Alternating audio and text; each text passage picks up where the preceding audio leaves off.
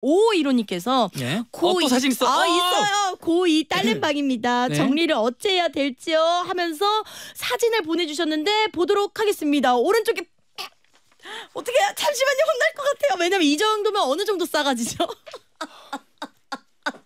누구 방이라고요? 이게 고2 딸램 방입니다. 일단 어떻게 되어 있냐면요. 침대 위에 패딩이 올라와 있고요. 그 다음에 그 옆에는 옷이랑 여러 수납, 화장품이 있고요. 그 수납, 그 옷걸이와 침대 사이에 바닥인데요. 책상 위에도 볼펜 같은 것도 그냥 난 그냥 나 있고? 화장품도 그냥 나 있고 바닥에 네. 옷이 산처럼 쌓여져 있고 선풍기 인형에 다 있는데 중요한 건 진짜 잠깐 봤을 때 동대문의 옷 시장 같거든요.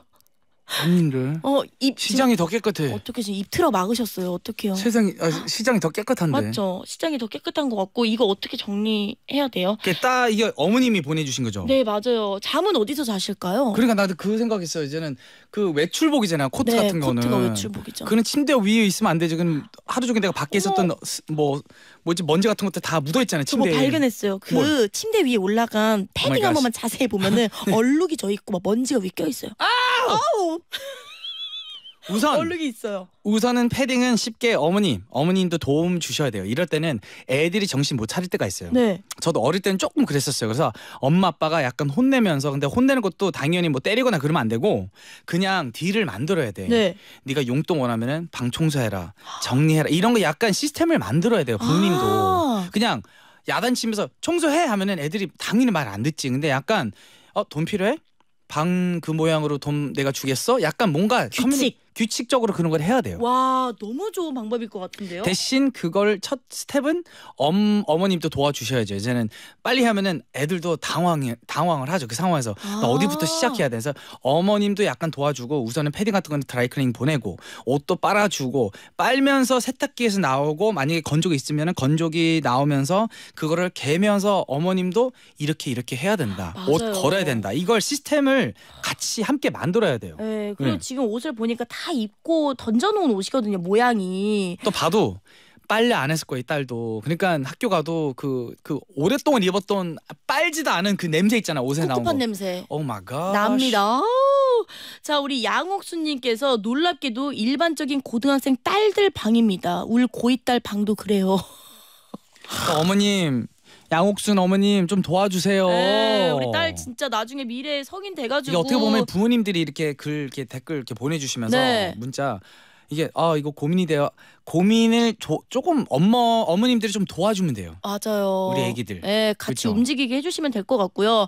그리고 겉옷 이야기를 해서 그런데 문자 하나를 읽어드릴게요. 음. 네네. 3350님께서 브라이언님 제가 퇴근하고 와서 너무 피곤해서 침대 바로 누워서 좀 쉬고 싶은데 oh no 아내 아내가 아주 질색 팔색을 해요라고 읽어야 되는데 어 브라이언님도 질색 팔색을 했습니다. 그렇죠 이거 용납 안 되는 부분인가요라고 물어보는데 네. 아니 지금 질색 팔색 하셨어요. 아니, 예. 집에 오자마자 샤워도 안 하고 예. 입었던 옷도 안 갈아. 그러니까 그거는 하면 안 되죠. 만약에 또 진짜 회식 갔다 왔어. 옷에 삼겹살 냄새가 나. 근데 그거는 침대도 그 냄새 그대로 배잖아요. 옷에 또 미세먼지 얼마나 붙어 있을 거예요. 미세먼지 예. 또 그날 내가 누구 만나는지도 모르고 또 요즘에 여름 빈대가 위험하잖아요. 어 맞아요. 갑자기 내가 같이 만났던 사람이 같이 포옹을 했는데 그 사람 몸에 빈대가 묻어 있었어. 그거 아무도 모르는 거예요. 빈대 붙는 거지 진짜. 그러니까 조심해야 돼요. 어 근데 늘 매일 입는 겉옷을 바로 빨 수가 없잖아요. 예, 겉옷은 이제는 넉넉히 몇 개, 게 당연히 뭐 부자 뭐 돼야 된다 이건 아닌데 그래도 어 저렴한 가격에 음. 그런 코트 같은 것도 사놓고 돌아가면서 입으시고 정말 이 옷은 지금 냄새가 좀 심하다. 너무 고기 냄새 난다. 아무리 내가 탈취제 뿌려도 도움이 안 된다. 그때 좀 빨, 빨아야 되는데 그런 것들은 이제는 안에 뭐 구스가 있을 수도 있고 무슨 솜 같은 거 있, 있잖아요. 네.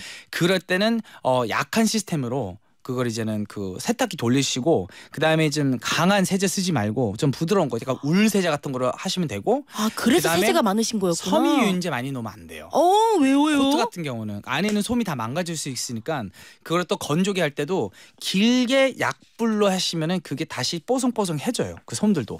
와 네. 이게 지금 얼추 브라이언 씨 따라하겠다고 막 아무 소독제 아무 막 세제 이렇게 사가지고 쓰시면 절대 안 되고 그렇죠, 그렇죠. 옷마다 다 방법이 있으니까 꼭 맞습니다. 괜히 또 나중에 망가졌다고 그러니까. 막 그렇게 얘기 나올 수도 있는데 무조건 미리 알고 아니면 너튜브 봐도 많이 설명해 주시니까 맞습니다. 그렇게 보시면 되고요.